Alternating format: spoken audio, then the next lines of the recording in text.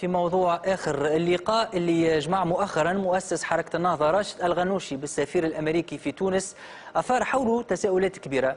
آخر التسريبات حسب مسؤولين أمريكيين حضروا في الاجتماع تفيد بأن حركة النهضة وضعت خطة لإفشال أي محاولة أو تحرك أو تمرد لإسقاط الحكومة. الثورة المضادة لحركة النهضة في تقرير طارق الخضراوي.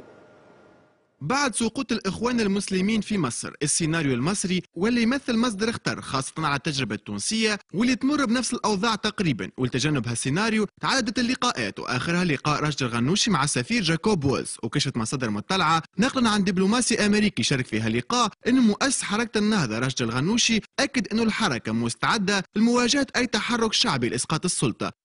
هذا يقول نفس المصدر أن هناك قرارات عاجلة اتخذتها الحكومة تتعلق ببعض مفاصل الدولة العسكرية والأمنية وأنه مجابهة أي تحركات شعبية لإسقاط النهضة وحكومتها باش تم بوسائل متعددة وأنه جميع الوسائل والأدوات باش تكون مشروعة لحماية المشروع الديمقراطي التونسي على حد تعبيره.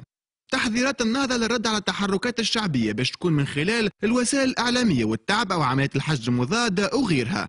الدبلوماسي الأمريكي اللي شارك في هاللقاء وحسب التسريبات يأكد أن هناك إجراءات باش تقوم بها السلطة ومن بين اعتبار أنه أي تمرد على الحكومة بأنه انقلاب على الإسلام هو اللي أكد المحللين اللي يعتبروا أنه علاقة النهضة مع السلفيين تعيش على واقع حالة من الهدوء من أجل المصالحة بين الطرفين. وفي نفس السياق تتواتر معلومات حول أنه حركة النهضة تقوم منذ أسابيع بتسهيل دخول مجموعات ليبية مسلحة للتراب التونسي. وذلك كإجراء لدعم حركة النهضة وخلاياها المسلحة لمواجهه كل من يحاول إسقاط الحكومة.